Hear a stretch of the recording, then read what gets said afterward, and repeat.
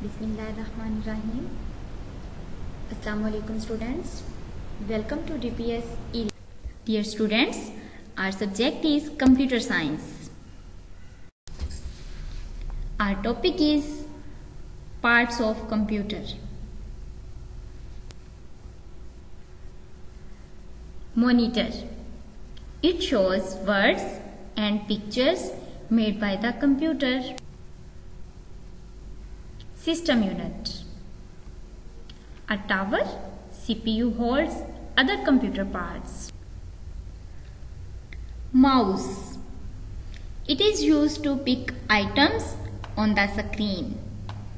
When the mouse is moved, the mouse pointer moves on the monitor. Keyboard.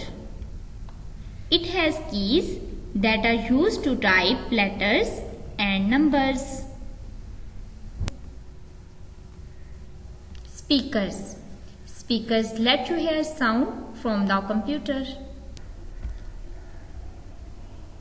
Headphones.